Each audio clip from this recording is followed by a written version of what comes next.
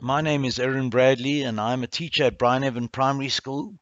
Fanatic about coding at schools, and feel that this can offer children a great opportunity to learn systems thinking. Teaching a grade 2 class using the wonderful tool Purple Mash.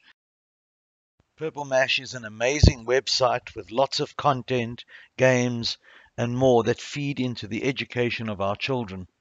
I try to encourage everybody around me to make good use of this tool.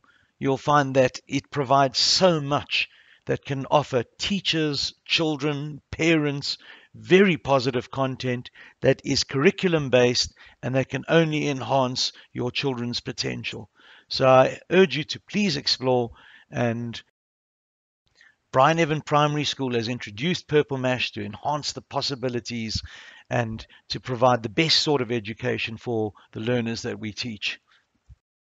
Today's activity, the Valentine's Day activity. You must go to your to dos, click on this red check button over here, and look over there. There you'll see yours should say two, and that shows that there are two bits of work for you to do for marks.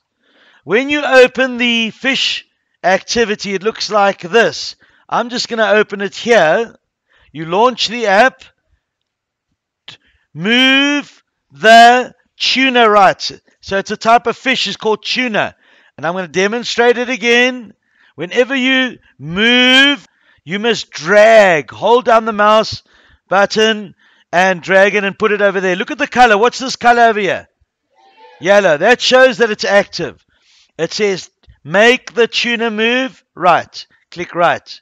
Then you go to play to see if your code is correct. You click on this green, the green triangle button. So I'm going to click on it and it's going to play my code. Look, my tuna is moving right. It says next challenge. Now, whenever you're stuck in Purple Mash, you can always watch the videos. If you're ever stuck, it'll show you how to do it. Look over here. If you go on this over here, that's the design mode. But above the design, you can see this question mark that blue button over there. If you click on there, it'll show you what you must do. So if I play, so look now, at showing me what I must play, do. Your tuna fish should be moving right. Now you can hear the sound because my computer has got sound. It shows what you must do. So if you ever stuck, watch that video.